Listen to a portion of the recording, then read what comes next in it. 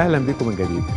عايز أقول لكم حاجة مهمة جدا وإحنا لسه في شرم الشيخ ويمكن بنختم آه، اليوم الأخير لمؤتمر تنمية ودعم الاقتصاد المصري. في حالة من حالات الكرامة المصرية في حالة من حالات القوة المصرية في حالة من حالات الإحساس بالاستقلال. ويمكن ده بيترجم في تصرفات ومواقف صغيرة تبدو صغيرة ولكنها في الحقيقة كانت بتعكس قوة الإحساس بالشخصية المصرية الجديدة من خلال المؤتمر.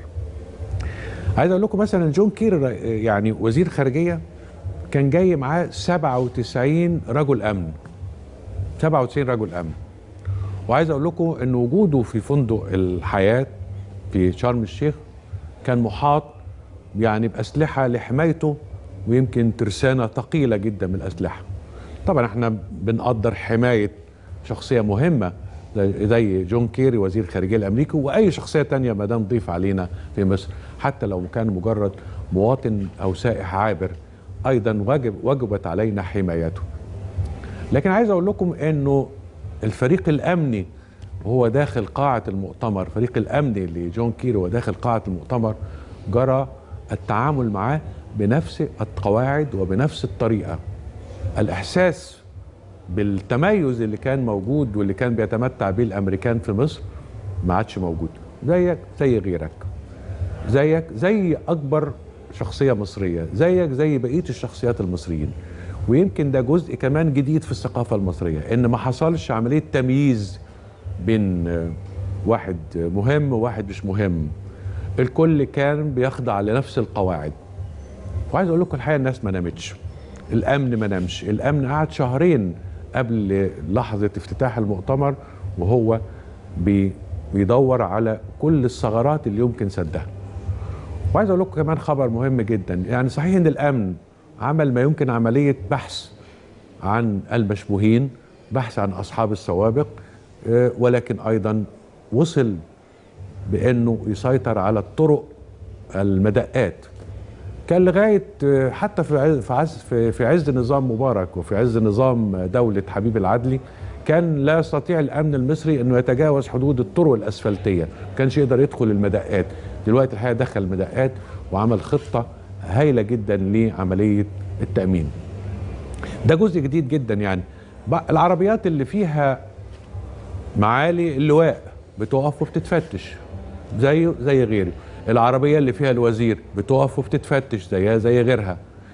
دي ثقافة جديدة يجب أن تسود أنه ما فيش فرق بيننا. عشان نحترم القانون لا يجب أن يكون في القانون خيار ولا فقوس أن نكون كلنا متساويين.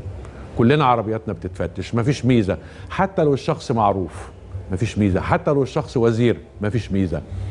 وبالتالي إذا كنا بنبدأ بأنفسنا ككبار للمسؤولين مش إحنا شخصيا مش أنا شخصيا طبعا بتكلم على السادة الوزراء بتكلم على السادة الجنرالات يبقى اذا من باب أولى إن الأجانب كمان يخضعوا لنفس القواعد. دي من الثقافات المهمة جدا. الحاجة التانية الحقيقة لقينا في تناغم قوي جدا بين كافة أجهزة الدولة. يعني كل كل أجهزة الدولة كانت مستعدة. يعني الإسعاف مع إن الحمد لله ما احتاجناهاش مرافق الخدمة المدنية مع إن الحمد لله ما احتاجناهاش. أيضا ال- الشرطة كان كله في حالة اهتمام. الناس ما نامتش في شرم الشيخ. الأمن بالذات ما نامش في شرم الشيخ. التوافق لأول مرة بشكل يعني في تناغم شديد جدا بين الأمن اللي بتمثله وزارة الداخلية والأمن أيضا اللي بتمثله وزارة الدفاع.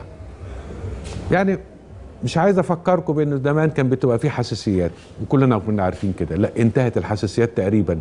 لأنه عندما تكون هناك قواعد صارمة تطبق على الجميع وتكون أهداف تمس هذه الأمة وتمس مصير هذه الدولة وتمس مستوعبتها وتمس مستقبلها في الحالة زي دي يبقى في الحالة زي دي كلنا الحقيقة بن- بنتوافق وكلنا العداوات والحزازيات والخلافات والتناقضات بتختفي تماما.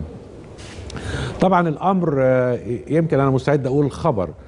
مستعد أقول أنه وأنا قاعد في وسط مجموعة من المسؤولين الكبار عرفت الحمد لله أنه كان آه، أجهضت عملية في سينا كبيرة جدا. كانت موجهة إلى بعض آه، قوات الأمن وقوات الجيش هناك.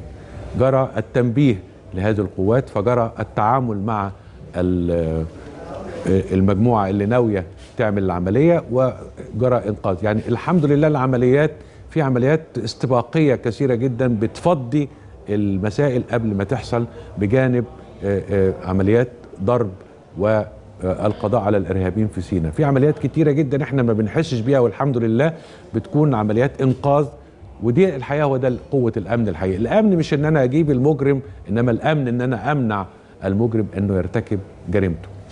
الحقيقة ده كل ده يعني كلام مهم جدا.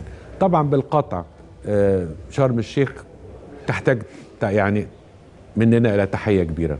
وبالتالي النهارده الرئيس كان بيتكلم على تحية كبيرة لشرم الشيخ.